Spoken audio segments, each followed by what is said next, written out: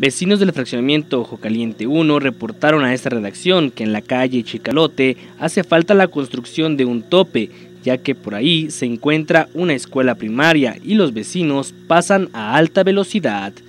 Sobre la calle Palo Alto se encuentra la primaria Héroe de Granaditas y a una cuadra antes de llegar a esta institución se encuentra un tope, pero sobre la calle que está justamente frente a la puerta de acceso no existe un alto.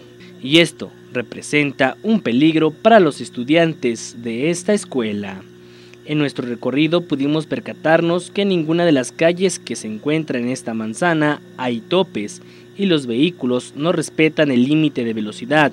Cabe señalar que no hay señalamientos viales de alto o de cruce de escolares.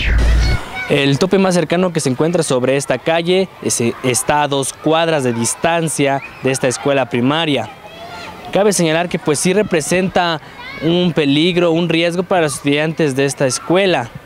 No solamente porque los vehículos que transitan sobre esta calle pues vienen a alta velocidad, sino que pues también es algo más seguro tener un tope para que hagan un alto y así pues no corran un riesgo estos estudiantes. Le hacemos un llamado de atención a las autoridades correspondientes a que pongan atención en este punto y se cercioren si es viable la construcción de un tope.